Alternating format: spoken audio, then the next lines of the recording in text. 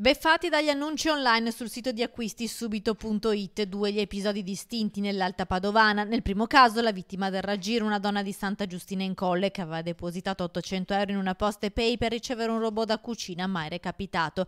I carabinieri sono risaliti alle intestatarie della carta, due donne pugliesi che sono state denunciate. Denunciato anche un casertano di 45 anni che aveva truffato invece un 61enne di Borgorico facendosi pagare una stufa pellet inesistente.